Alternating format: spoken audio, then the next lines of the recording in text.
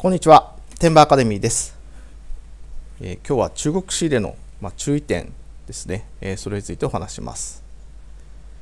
まあ、中国輸入で注意が必要な商品と仕入れ商品、仕入れ NG 商品、それと中国仕入れ、ね、有名ブランドやキャラクター商品も NG と、あと動作確認が必要な商品も NG、それと中国仕入れの方法は、まず eBay で仕入れるのがおすすめというお話ですね。まあ、これを見るとね、まあ、日本で仕入れるってことがいかに仕入れがやりやすいか、ねえー、まあ、日本は仕入れ天国だなというのを実感すると思います、まあ、中国だとね、えー、日本で仕入れる場合とはまた別な、えー、注意がいくつも必要です。まず中国仕入れでね、え扱うべきでない商品、まあ使用して怪我をする可能性がある商品、ね、商品でブレイブボード、まちょうどねこれね、え娘が欲しいと言ったんでねちょっと調べてみたんですけどまあ、えー、本物なのか偽物なのか果たしてね本物と言われるもんでもちゃんとしてるもんかどうかっていうのがね、まあ、かなり怪しいと、まあ、このタイヤ2つしかないところをくねくねして動かしますんでね、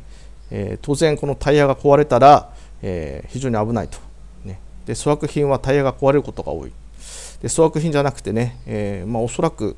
アマゾンで普通にねある程度いい評価もあるんですけど、まあ、悪い商品もね混ざってる、まあ、ひょっとしたらねコピー商品を売ってる人は結構いるのかなという気もします。値段にも幅がありすぎるんでね、まあ、何しろこれ、えー、使ってて、えー、タイヤが外れたとかねあるいは外れなくてちゃんと使ってても、えー、使えててもね、え消耗が早すぎるというクレームも結構ありました。ね、え運が良ければ消耗が早い不良品じゃないかという話。でひどい場合だとねこの、えー、日本であったビアンキの自転車みたいにね、えー、その乗ってた人がね大怪我して、えー、半身不随と。でこれ輸入元がね1億8900万円の、えー、賠償命令を受けてます、まあ、これね、え、ビアンキの自転車なんで、まあ、そんなひどいもんじゃなかったんでしょうけど、まあ、それですらね、え、こういうことに、なりうると。だからねそれを使っててもしもそれが壊れたらどうなるかね、えー、想像してみてまあ怪我をするねという商品はねやめといた方が無難です、まあ、そういう商品しか扱えないとかねそういう商品しかないというなら別ですけどまあいくらでもね、えー、商品はあるんで、まあ、この使用者が怪我するような商品はやめといた方がいいと、ま、それから、えー、高価な商品が破損する可能性のある商品。例えばね、この自転車、あるいはバイクにつけるようなね、スマホホルダーってのあります。まあ、そもそもね、これスマホホルダーっていう商品がどうかと思うんですけど、乗りながらこれ見て危ねえんじゃねえかという気もしますね。ひょっとしたら商品が壊れなくてもね、この商品を買って乗りながら走ってたら、えー、車にぶつかったとか人引いちゃったとかいうのもね、販売者の責任になる可能性もあります。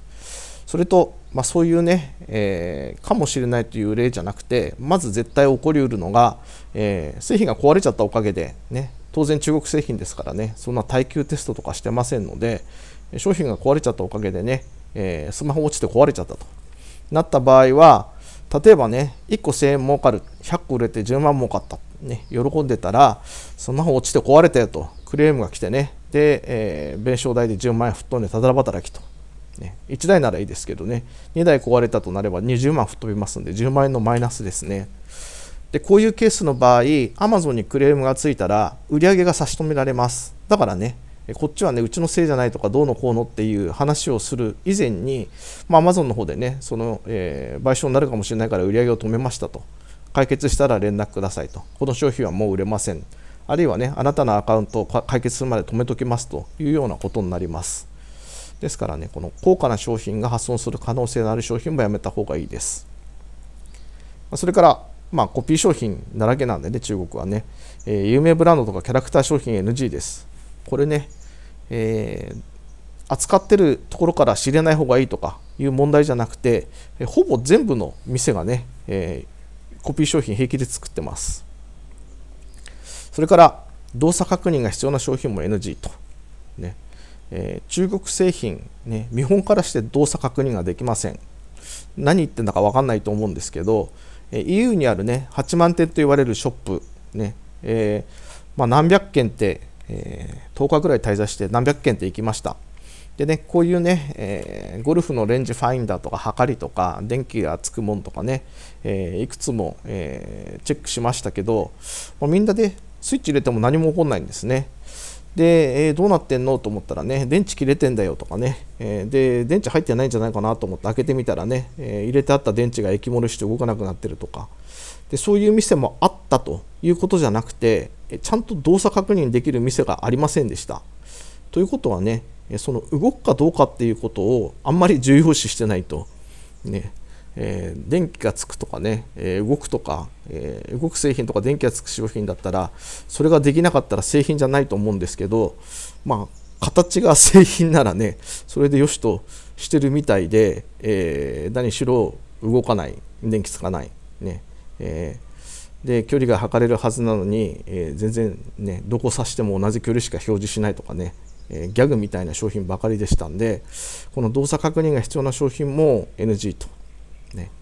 例えば、まあ、ソーラー電池の商品なんかでね、えー、動いたと、ね、電気つきましたというのがね、え動作確認してもらっても、えー、例えばね、え1ヶ月後に動かなくなったと言った場合当然クレームになりますよね。